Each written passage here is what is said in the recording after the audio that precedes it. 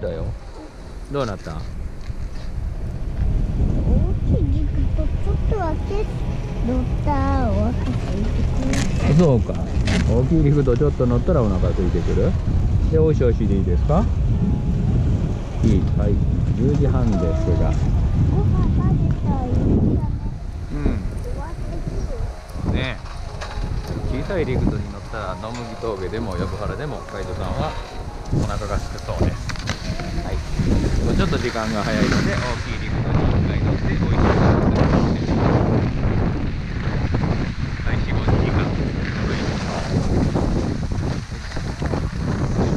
またここ一人で行けるわそこ急なとこ終わるまでお父さんと一緒ねでそこか。ら一人でね行くぞーはい他のお客さんいないのでよし行ってみましょう。よしかそ行け。はいそれ？お。あお答えたはい雪もシャバシャバなのでちょうどいいでしょう。う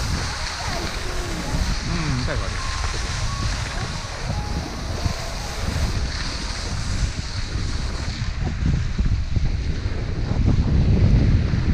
ヤッホー。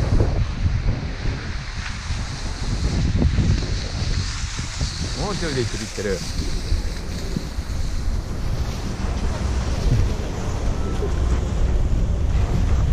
ん。